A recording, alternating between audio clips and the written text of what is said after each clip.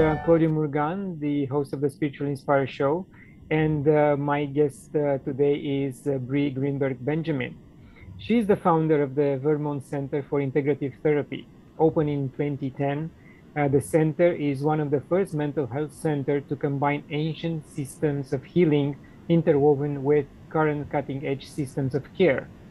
Utilizing her decades of experience as a psychotherapist, also trained in healing and spiritual practices, Bree created a unique four-phase model of understanding and care delivery through which she birthed protocols for eating disorders, trauma, and mood disorders, among other uh, diagnoses. Bree has lectured and presented extensively at institutions, conferences, and universities on topics on integrative medicine, eating disorders, and addictions. She has trained and supervised over 150 practitioners from disciplines ranging from internal medicine to yoga therapy.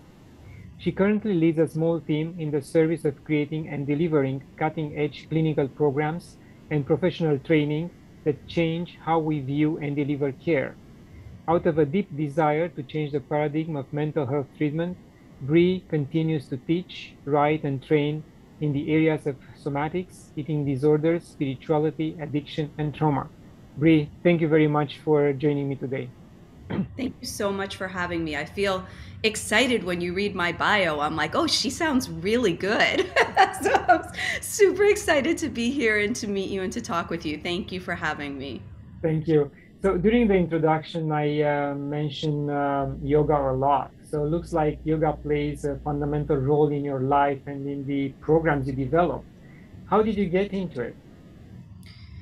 Yeah, that's an interesting journey. I um I would say yoga played a really predominant role in my life and in all of the healing systems that I created for a very long time. Um, it was really the primary somatic method that I originated my work with understanding and using the body in an alchemical way.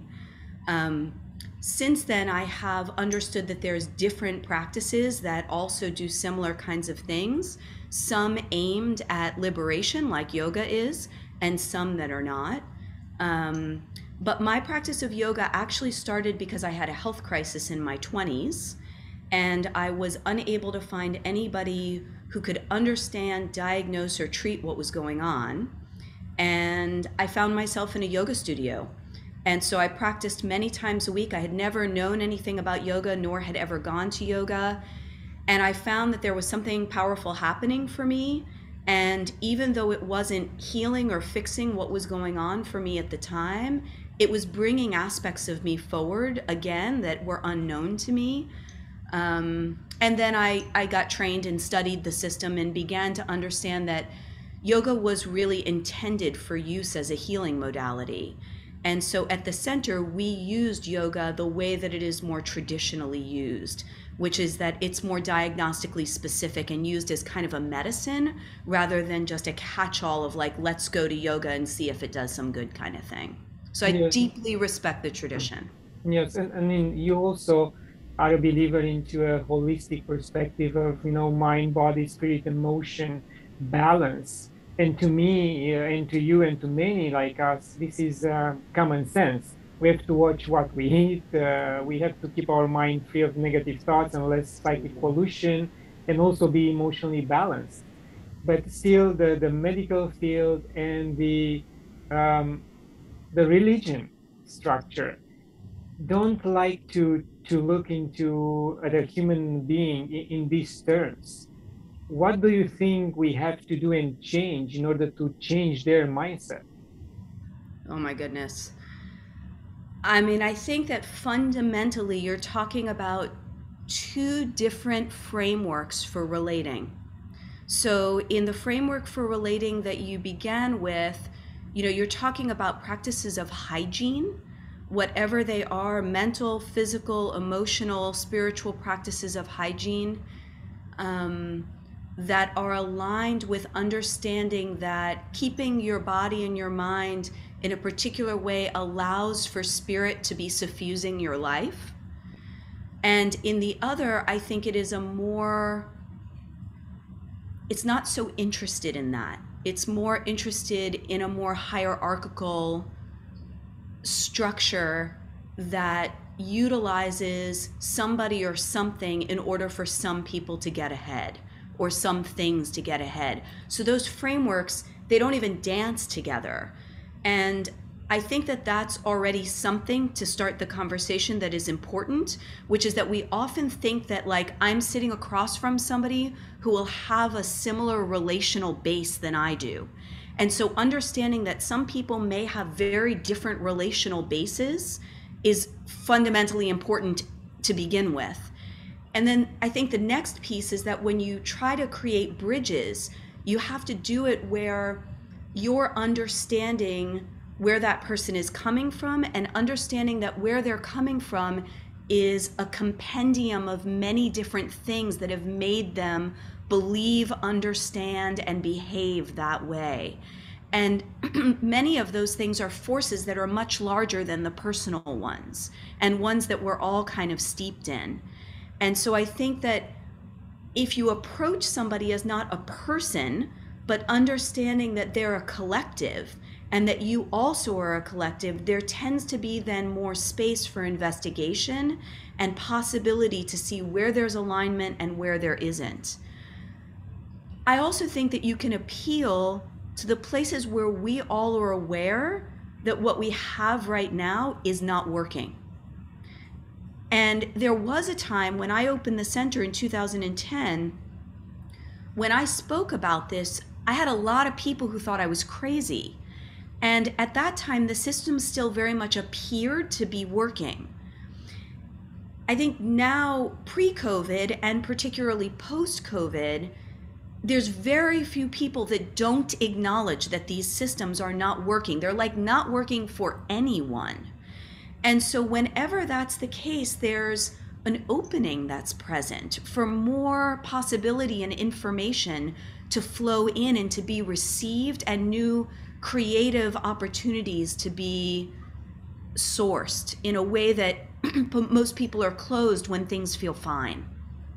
Yes, and also, in my opinion, I think it's a matter of control and uh, creating an intermediary uh, which won't allow us to, to search that type of information on our own or will try to forbid that type of uh, forbid us from looking for that information. We have to go back to that authority either medical or religious in order to get what we we need. But again most of the time what we get in return is not what we need is what the perception of those people and individuals and entities thinking that this is what you need. I'm telling you what you need. You have to listen to me.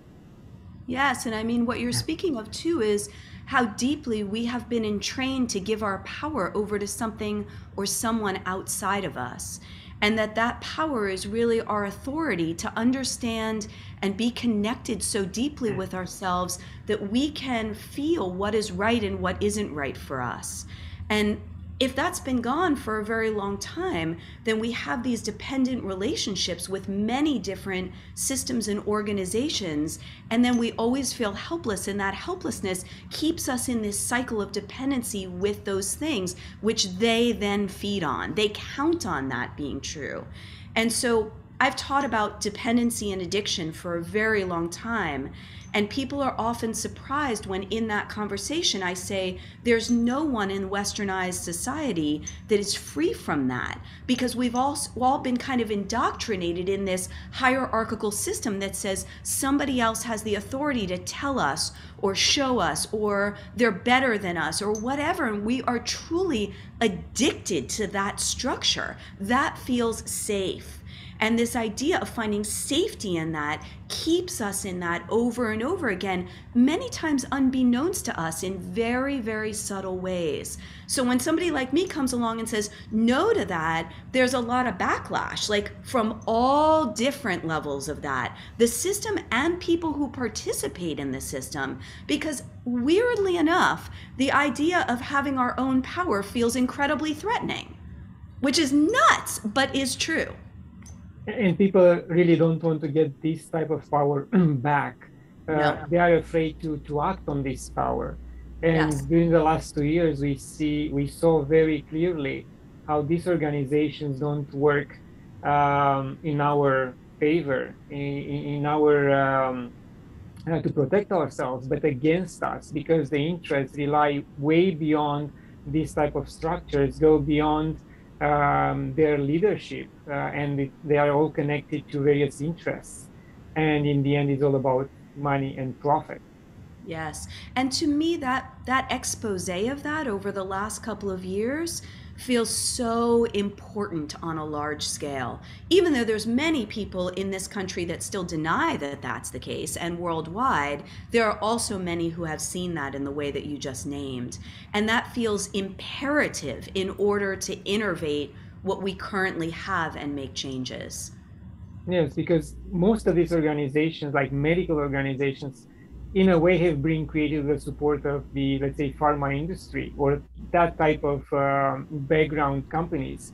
Uh, and of course when you fund these type of organizations they have to sing your same song your your, your own melody.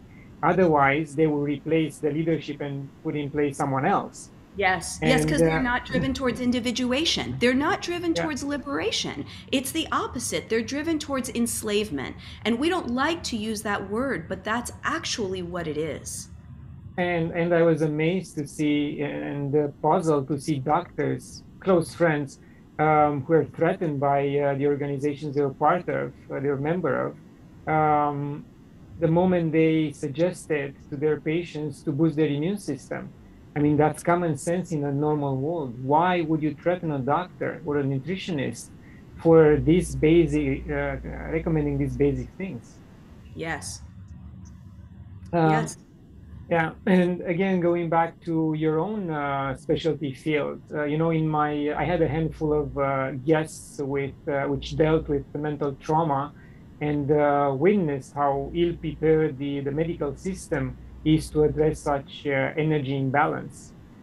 How do you think these issues can, can be fixed? Is the schooling process one, one of the causes?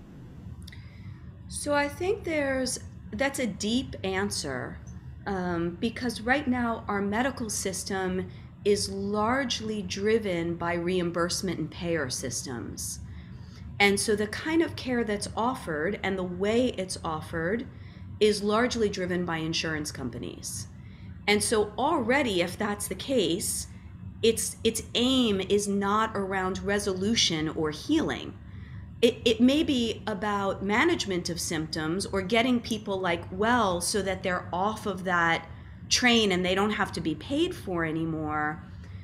But I think that forever and particularly now in a state of as much globalization and interconnection as we all live in, the complexity of our systems is tremendous, probably more than ever before. And I mean our individual, familial, and community systems. Everybody is experiencing challenge in those spaces all at once. And so when I look at the current system, what it does is barely scratch the surface of addressing or being able to reach people at the depth of what is causing that complexity of symptoms. And so, better screening would be helpful, but we still have a fractured system where, you know, a doctor may be here, a psychologist is here, a nutritionist is here. They don't cooperate, they don't understand or have a shared language they they don't have a relational framework for talking to each other. None of those things. And so everything is in these fractals. And then people are already in these fractals. And we expect a system that is in fractals and driven by greed to meet a person who's in crisis in fractals without any kind of holding space or clarity of aim or landscape or breadth or depth of the issues and how they present. It just feels like we have something that is for kindergarteners and we're like in grad school with this stuff. And so people often say to me that I criticize the system. And I don't criticize the system, I just look at what it is presenting and where the holes are. And what I say is that what we have is not all bad but it is like telling this tiny part of the story. And if you tell this tiny part of the story to somebody who's got this big story going on, they're not going to get well that way. Um, and I feel like we continue to sell people short by telling them that we're doing the whole story when we're just doing this little thing. And everybody kind of now knows it. And there's a lot of apathy and hopelessness and sadness and lack of trust there because of that. And all of that is awful, but also good because when you get to that state, you kind of demand something else. Yes. And there's a lot of discrepancy uh, between various uh, medical systems in, in various countries. And you know, one of the best examples is people flying out of uh, US uh, to, to go to Mexico or to yes. Dominican Republic or to even India. And they have, they go through medical uh, procedures maybe for one quarter of the cost and uh, they are being taken care of very, very well. There yes. are specialized doctors there. The conditions are, are good. Um, and then at the end of the, the treatment, they even, they can afford a, a trip to, to stay in, in India for an extended period of time, you know, enjoying um, the sightseeing. So again, US, even Canada, are systems which have to be revamped. Who do you think have to, to take care of this? Who do you think will be will have the power and the determination to, to break the, the existing corrupt cycle and bring something new? I think it's going to happen in phases and in pockets. Um, so when I conceptualized disrupting the healthcare system about five years ago and wrote a business plan for that, it was disrupting at these kind of four different areas. So you have to disrupt at the clinical level. You have to put clinical models forward that look very different than the one we currently have.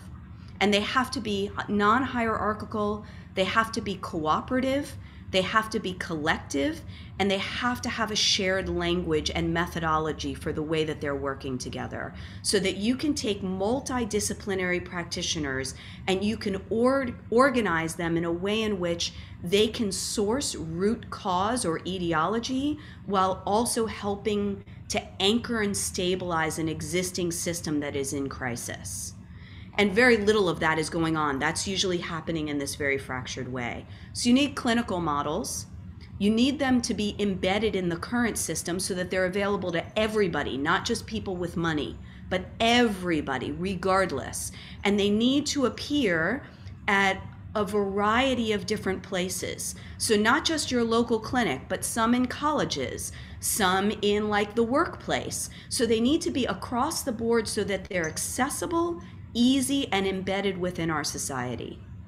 And then you have to interrupt at the educational level, at med schools, at training places for psychotherapy. You have to have this breadth of understanding be taught to physicians when they are being trained, particularly psychiatrists. Um, emergency care doctors, these are often first responders for these kinds of things. So that has to be there, and it's not in place at all now. It's like in little drips. Then you have to interrupt at payer systems. You have to put pressure on legislation for insurance companies to pay for things that are not traditionally considered evidence based. Things like meditation, things like body work, things like movement therapy and voice therapy, things that we know that in 12 years of me working with over 10,000 patients, I could tell you that the bulk of those people healed because of those things that were not covered by insurance. Because what happens is when those are left out, you are over relying on the people and the practitioners that are covered. And most of the time, they don't have the acumen to do those things, nor should they, because that's not where they were trained. And it doesn't matter how good you are as a practitioner or how well trained, you're always going to have limits, which is why a multidisciplinary, very skilled team has the ability to alchemize at a much deeper level. So you need to do those three things. And then the fourth is you have to interrupt at the level of community. And this is because things don't happen in a vacuum. And all of our communities are surrounded by poverty, single parenthood, racial injustice, all of these things have to be included. If we think they're separate from our health and our well being and our health care, we're again dividing things into binaries where they actually are working as more total ecosystems. So to me, this is this is a beginning plan for actually doing this in those four areas. Yeah, and what puzzles me is about the practitioners you just mentioned that I understand that they cannot go into too many directions, but at the same time, they should be aware about yes. alternative uh, methods of healing, and they are not. And they yes. either they are not allowed to talk about them, or they are completely completely ignorant that, that uh, such method exists. They don't want to look into anything else but their own path, and to yes. me, that's very sad. Yes, yes, yes, yes. Everybody's bandwidth has become so narrow. And the over reliance on methodology versus creativity has also made that very narrow. You know, we train people to be robots. Like, here's the three methods you can use. Here are the ways you use the and people to go to tr- tr- continuing education to like learn a new method. I'm like, no, go to a three week silent retreat. Like, go be with yourself. Then you'll like awaken some of your erotic intelligence and your creativity, and then you'll sit with somebody in a relational framework that has reciprocity. Then you can apply a method if it is the right thing.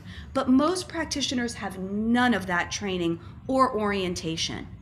Yeah, but you know what's the risk of them going to such a retreat, in especially uh, vipassana, the, the silence one, or you know uh, medicinal plants? They will wake up to a level yes. where they will be disappointed with the school they just graduated. Yes. And they will want to either give up completely or try to change the system, which will be almost impossible. And they might go into a, you know, breakdown. And that will be also not good for, for their overall health. Yeah, I mean, I tend to really lean into the fact that that's true. Like, crisis is absolutely possible in the way that you're suggesting. And I also think, um, you know, when I opened the center, even back in 2010, there were swaths of practitioners that were hungry for a model in the way that I had created it. And I think that if those are out there, then you wind up with people who wake up and they just they're they're magnetically attracted to those things What's needed really is the backing and the funding to begin seeding those things and pollinating them in various different places so that they are there to receive practitioners who are waking up to a wider way and have a place to go get that training and do that work in a very different way. And what is so amazing to me is that when you work in a system like that as a practitioner, you don't feel as drained it's just more it's more sustainable for everybody because everybody is being nourished because nourishment is one of the primary actions of that system which is actually such an action against the patriarchy it is an action against capitalism and you know we talk about like the patriarchy and capitalism like they're this thing but they're really both birthed from this same energetic movement of um, predation. And so sustainability and nourishment really is a rebellion against that level of predation. Yes. And to me, that's the only direction we have to take. Like we know this other one doesn't work. You know what I mean? Like we this is we don't have a choice. We we may die trying to do that other method. We may all get annihilated in that way, but then we'll just come back and try it again maybe on another planet or I don't know. Exactly. but I think that's the mm. jeans we're wearing. Do you know what I mean? Like it's either going to face the fucking thing or not. Like this is where we are. Yeah. yeah we, we have to, to face it for sure. Otherwise, won't uh, end in a, in a positive uh, way. Yes. And the four um, ways or the four um, angles you, you, just mentioned earlier, are they part of the uh, the four phase model of understanding and care uh, delivery you, you created? No. So the four phase model actually is now a seven phase model. Um, so the four phase model really was the model that I created for scaffolding and understanding working with addiction and dependency programming. And what I identified was these four different phases that most clients go through in working with those patterns. And usually the system will attend to like the first through third phase essentially. The fourth phase is like a smaller percentage of people that kind of get to that space. But when I started really understanding dependency patterning from a wider lens, I started placing it in a much longer arc of maturation. So that it was no longer this standalone thing that somebody or some people had, but rather this process that we all go through that is kind of an adolescence in our society that can lead and should lead to a metabolized eldership on the other side of it. And that we don't talk about things from like phase four to phase eight, which are the more transpersonal, deeper development, more rooted, more integrating phases that are less single me and more relational global, not only to each other, but to the earth, to the energies of the spirit world, to everything that exists as it is. And so I've now started teaching this more seven or eight phase model when I teach about addictions, so that if you know where the journey is going, then in phase one or two, you have a very different way that you approach what's happening. Do you know what I mean? If you think that the journey of addiction is only going to like withholding from use of substances, you're going to do something very different when somebody comes in and is struggling at phase one than you would if you think the journey ends, quote unquote, at like eldership and like this ripening of relationality that changes everything in the way that you behave, identify, aim, re- everything shifts from there. And so I kind of argue that if you're missing that, you're narrowing things so much for people and you're narrowing yourself when working with individuals as well. Yeah. And in any of your programs, have you tried uh, microdosing or anything in, in particular, uh, which is natural? No, the closest we've gone to that really has just been um, working with like microdosing pharmaceuticals because there was a way that we had a psychiatrist who, you know, some people's systems are so sensitive that um, using a full dose of something is too much and blows them out. So we did try with like compounding pharmacies and microdosing for some folks as a bridge to like be able to go from one state of being to another and have some support but I have not tried any of those other kinds of things in a more organized way. It's absolutely something I would want to experiment with. Yes, I, I heard that the, the results are quite uh, amazing, and uh, over a period of several months, uh, the results were uh, were visible. So yeah, that's yeah. I mean, I think that those things are all really valid. What scares me about them is that right now we're still using them in a vacuum. You know like we're still saying go over here and do this thing and it'll m- make these other things better. And sometimes it does and sometimes it doesn't. So i'd like to see more integrative work going on with that. So there's more like full support. Yeah Bree, I've heard that uh, in the last two years, the uh, individuals with um, mental health issues doubled or even tripled due to you know lockdown, living in fear, even family death. Um, have you been able to to help these uh, individuals? So ironically, I closed my bricks and mortar location in Vermont uh, at the beginning of COVID. And I wound up continuing to keep my website going because the influx of people, even once we closed, was tremendous.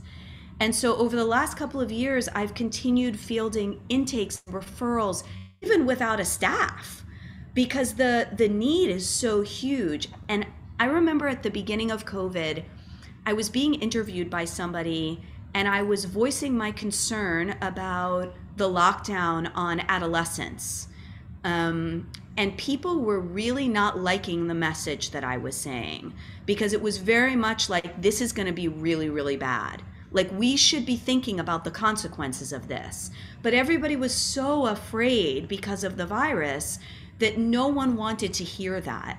And I think now we are just beginning to see the tremendous results on the developmental milestones that have been lost and missed. And the tremendous amount of impact on parents who have been home with kids and who have not been able to have their own lives or proper support. And I think we're going to see that really intensify and con- continue in the next five to 10 years. So I have not done anything formally about it, but I would like to. And I've had some conversations about creating some programs for that. There's so, they can't happen fast enough. Yes, yeah, I, I heard especially with um, teenagers and uh, university students and those who are uh, away from, from home in a different country, they, they suffer a lot and um, the suicide rate went um, up. Yes. Uh, huge percentage. So that's uh, very sad. These are consequences that, um, you know, politicians and other, other um, individuals uh, in charge don't take in consideration, unfortunately. No, and I feel like that's the theme for us is that we're kind of flying blind. Do you know what I mean? Just like, oh, we'll just do this and then we'll do this. But there's no kind of totality of view going on. And so when you have a totality of view, you understand that everything has a consequence or like a relational impact on another. And that this was just the logical impact that was going to be there. And we're so drastically unprepared for it. Yeah. But I'd like to switch to um, more personal um, questions, if, if possible. And I'd like to ask you, who are the uh, people who influence your life, and especially on the spiritual path? Uh, my spiritual path has been pretty eclectic. So um, I would say that innately I have always been driven towards the root of truth as kind of what drives my life um, and my curiosity and my interest. Um, when I first got into yoga, that was the first kind of formal spiritual thing that I did. And I wound up as an Ashtanga yoga practitioner um, because I stumbled into an Ashtanga studio and I loved the regimenting and the intensity of the practice and its ability to really like clear your system in a very rapid way. Um, but I hated the fact that the core teachers were such misogynists in India. And you know there were so many reports of like western women going there and like being harmed that I never went to India even though I really longed to. I just could not abide that hypocrisy although I understood that it was in the framework of the culture, it still just was not okay for me. Um, and then that led to me sitting in the Vipassana tradition for a little over 20 years now. Um, and I had a number of teachers in that tradition. I would say the ones that were most impactful for me were actually my monastic teachers. Um, because I found myself really drawn to the more strict and traditional avenues of that kind of practice. And then there is one Western teacher named Rodney Smith, who is the head of the Seattle Insight Meditation Society. He's now retired. And of all my years, he was the one person that I felt deeply resonant with. But in that path, you don't really get a teacher. You're kind of just showing up to do the practice and hoping it's going to be okay.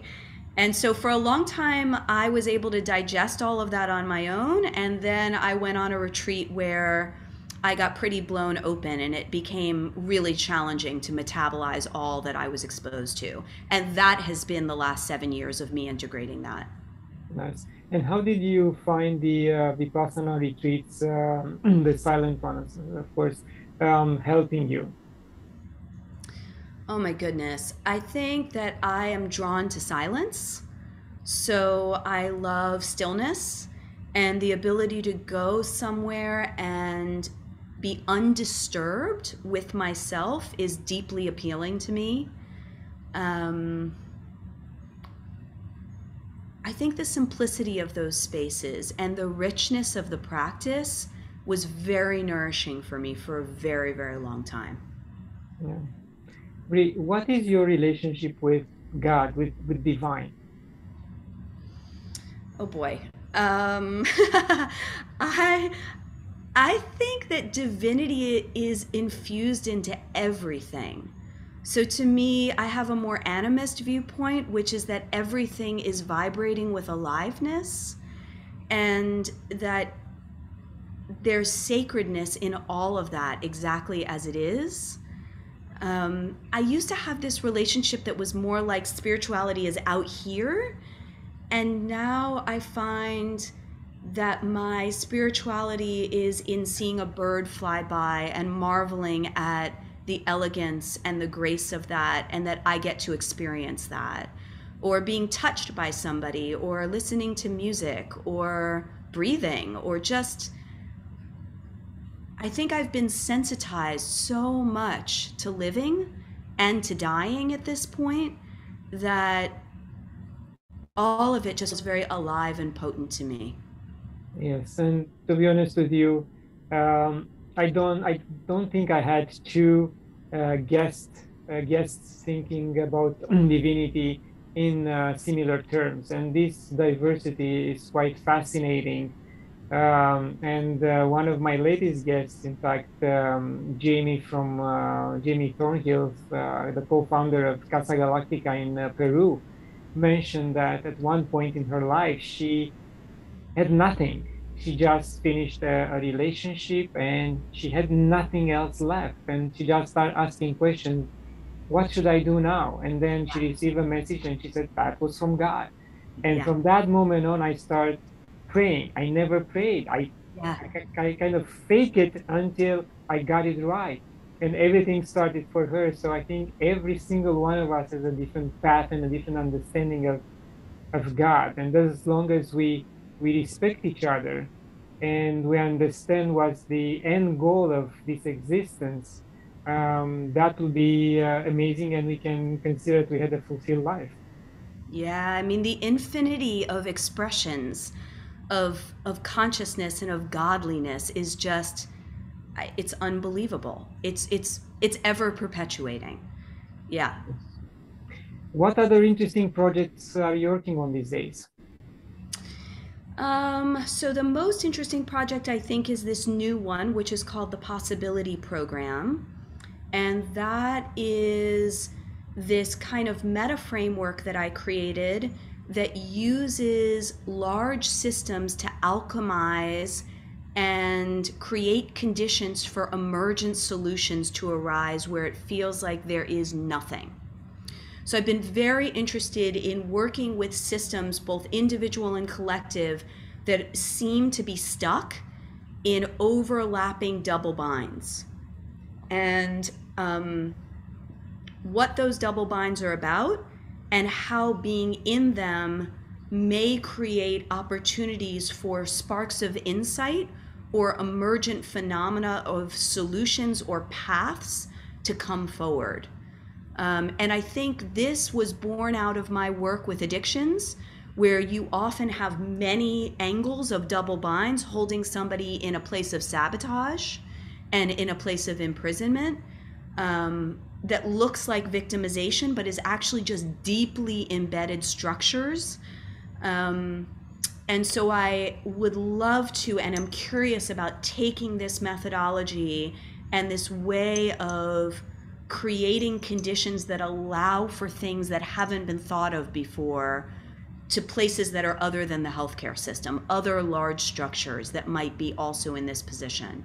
But I haven't gotten there yet. That's a much bigger vision. Yeah, okay, because that was uh, would have been my next uh, question. What, how would you implement this in a practical way? So. I mean, I think it would be coming into an existing organization where they felt like this described their experience and they really wanted to see what could be created with a different framework and a different holding space for the way that they are traditionally moving through things. You know, one of the things that's true for all of us is that we become deeply embedded creatures of habit, even when we don't want to be. And so shaking things up and creating conditions where you are forced to relate to each other and yourself in new ways all of the time will often spark opportunities for paths that don't seem visible otherwise. And um, there's a particular kind of joining that happens when that energy starts coming into the room. You know, when emergent energy enters a room with people who have been stuck, there is like a life there. There's a vibrancy that was formerly absent. And to me, I'm all about awakening up those dead places with that kind of vibrancy because I think nothing is ever kind of fully dead. It's just kind of retired because it thinks there's no hope or something. Um, so that's a place I would like to be playing, and I'd be I'd be interested in doing it. Yeah, because another aspect of uh, our personal health is for us to understand that we can take our health in, in our own hands. Yes. Because everything is energy. And if we know how to manipulate the energy, move the energy in our body, and listen to those guys who already did it, of course, um, we don't have to be on pills all our life. And we can yes. heal ourselves, that's, that's for sure. Yes, I think there's way more capacity for that than we've even begun to give ourselves credit for. And I think some of that is because there's places and people who don't want us to go down that path, and also because we just haven't evolved yet to a place in which that's what the collective is doing. What I know from the center is that when I took a group of 15 practitioners and I put them in the room together and we staffed really challenging cases that felt like there was no hope on multiple layers. What we found was that there was movement possible because the group of us were working collectively with a particular aim for opportunity and possibility in a way that left that very open and called it in essentially. And we're very rarely doing that. We're often just walking around with this rather than with this. Yes, and a similar practice with uh, in, in, shamanism, where uh, you know the shaman will um, uh, call on a person with um, big uh, health issues. That person will stay in the center, and everyone else will focus yes. on that person, trying to to heal her or him uh, yeah. through their own energy, bringing the uh, the the right spirits around the, the circle. So that's a practice which have been in place for maybe thousands of years. Yes. And this deep listening, you know what I mean? This deep, deep listening to each other and to what's happening in that system, the respecting the system's own movement and own timing versus imposing our own ideas about what's right and what isn't right as if there is a right or isn't right. You know what I mean? It is this deep relatedness and respect and humility that to me makes that really makes infinite possibility come to bear. Yes. Something else came to my mind. You know, uh, where you, a place where you have a captured uh, audience is the prison, and also uh, mental health issues are quite rampant there. You know, people went through a lot of um, uh, challenges in their lives. Some of them are gang members. You know, um, do you think that prison should accept specialists like yourself and have programs, rehabilitation programs, so those individuals can can come out as changing uh, people. It's funny you say that because about five years ago, prisons were my aim. So that was actually one of the first things that I wrote that I wanted to. Put there were four targets, and a prison was one of them. Um, I deeply would love to create this in a prison system. The tricky part is that when somebody comes out, they're highly vulnerable. And so you also have to have a really strong structure when those people leave. And we know this. I mean, advanced prison systems already have these kinds of partnership programs that are often with private entities to help people be rehabilitated. But to me, it goes much, much deeper than that. And so I think prisons are a perfect incubator for transformation and we're not utilizing it. And not just for people who are in the prison, but for everybody who works there too. Because I'm not thinking this is about the prisoners, this is for the totality of the system. Everybody would be trained, everybody would be participating. Everybody would be incubated and everybody would be followed. It could be amazing, amazing. Yes, because it takes to educate the uh, those uh, overseeing the prisoners to have a nice behavior or a, um, educated behavior, a civilized behavior towards Yes. the prisoners in order for them to to understand that they are being treated as human beings and uh, respond in uh, in kind. Yeah, and I would say that in those organizations, just like in any organization, you know, you have the same strands of like trauma and addiction living in the people who work there. They shouldn't be left out of this healing opportunity. This isn't just for somebody who's in prison because there's something wrong with them. Everybody is part of this soup. And so to me, the whole thing is an opportunity for tremendous healing. And I think that'd be amazing. Yes, indeed. Bree, we are approaching the end of the, the interview. Any final thoughts? Um, I think my most important thought these days is that we all know that we're at the threshold of something very different. And we may not know what that very different looks like yet, but I think the words of encouragement that keep coming up for me is that when you're at the threshold, all opportunity is possible and that we should be embracing these other ways of thinking and doing, particularly in systems that are as big as the healthcare system, where so many people are affected and are in need. Um, I just think it's a really exciting time, as challenging as it is. Yes, indeed. Thank you very much for, for your time. Thank you. Thank you so much. And uh, to my viewers, thank you for watching. Share it, uh, like it. Uh, visit my website to download a free copy of my first book. Um, support me on patreon.com. And until next time, love and gratitude.